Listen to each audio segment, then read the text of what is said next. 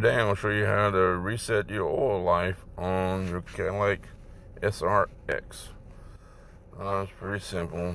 Um, um, pretty much you can go to the right or the left.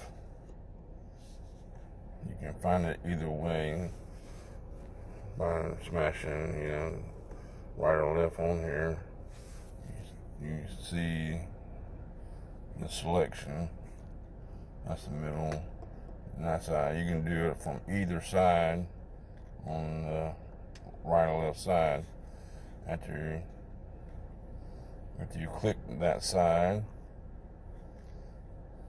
then you pretty much go up and down on the select screen on the select switch I'm sorry until you find your oil life.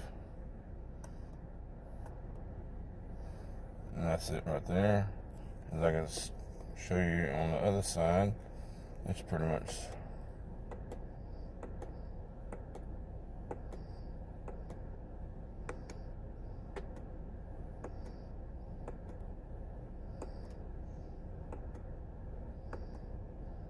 same place.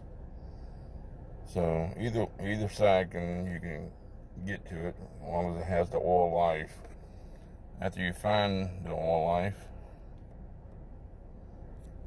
you pretty much press down on that same switch, press down until it resets.